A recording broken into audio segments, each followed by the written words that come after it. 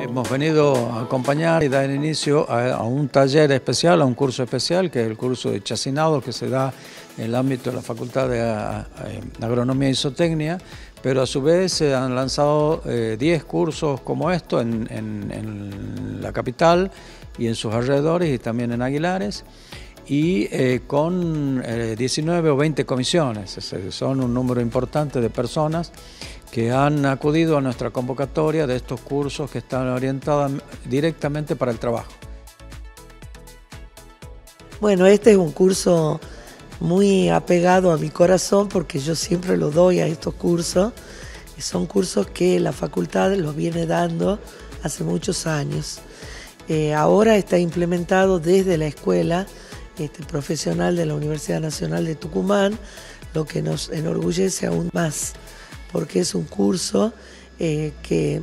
tiene una cantidad de horas teóricos y prácticas muy importante y con una gran posibilidad de salida laboral. Así que es un honor que nuestra casa haya sido elegida